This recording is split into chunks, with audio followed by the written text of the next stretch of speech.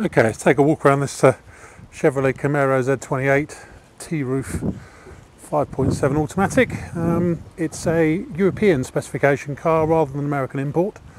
One owner from new. Uh, one thing I must stress is that the number plate uh, shown in the video doesn't come with the car.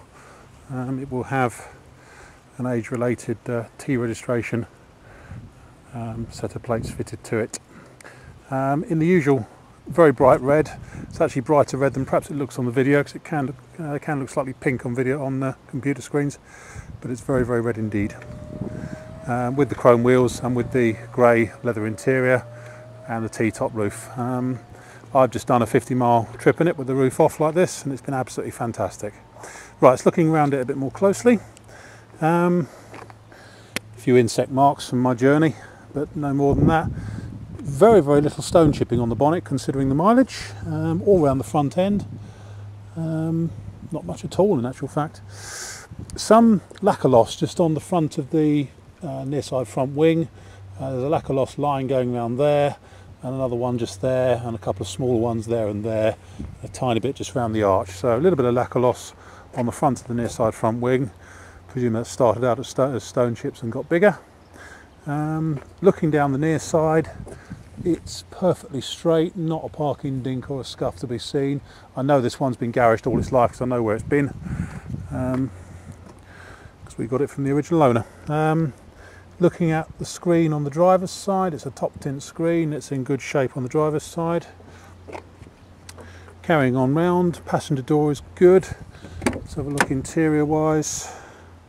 It's all good. Unusually it hasn't worn on the um, driver's seat bolster the way a lot of them do uh, so there's no wear on there. Uh, I know this one's done mainly motorway miles so uh, um, whilst it's uh, it's racked up 236,000 kilometres um, it's been say just up and down motorways. But the interior is fine no problems there. I don't think no I don't think it's ever been smoked. I didn't think the last owner smoked. Um, doesn't appear to have been smoked in at all. Um, all nice in the back seats there. You can fold those rear seats down. Natural fact on these. Um, we've obviously got the T-roofs uh, they go on nicely. Chrome wheels. It's all nice around the near side rear corner. That's all good. Um, rear spoiler's got one two three four chips in it just on the top of the spoiler there. Four larger chips. Um, but the rear bumper is good. Um, the only unpleasant bit on the car really. Um, chap, uh, according to the previous owner, um, somebody sort of just nudged him while he was parking it one day, or parking his other car and hit this. Um, it's dented the wing just around here, around the just on the very on the trailing edge of the wing where it goes into the light unit.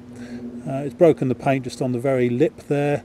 There's a tiny bit just on the um, the light finishing panel. Hasn't damaged that. It's just taken the paint off a bit but it's uh, it's obviously a blue car that's uh, that's done it dented it round there scuff just here and a small light scuff on the um, offside rear bumper corner as well but just say small dent between say there and there uh, that way and there and there that way on the uh, offside rear wing aside from that the offside is very very good indeed nothing to be concerned about there uh, interior on the passenger side is first class as, uh, as is the driver's side.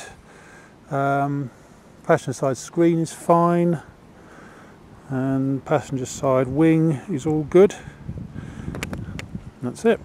That's about it. My name is Simon. You can reach me on 0771 906 9353 or in the office on 0118 946 3352 if you've got any issues or queries that you wish to discuss with regard to the car. End.